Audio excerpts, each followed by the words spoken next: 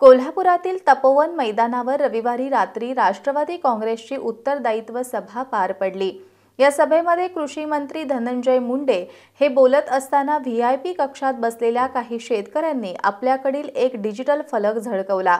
या फलकावर मी काही अतिरेकी नाही मी काही गुंड नाही मी एक शेतकरी आहे मला शेतकऱ्यांची व्यथा मांडायची आहे मला फक्त पाच मिनिटं बोलायचं आहे असा आशय लिहिण्यात आला होता.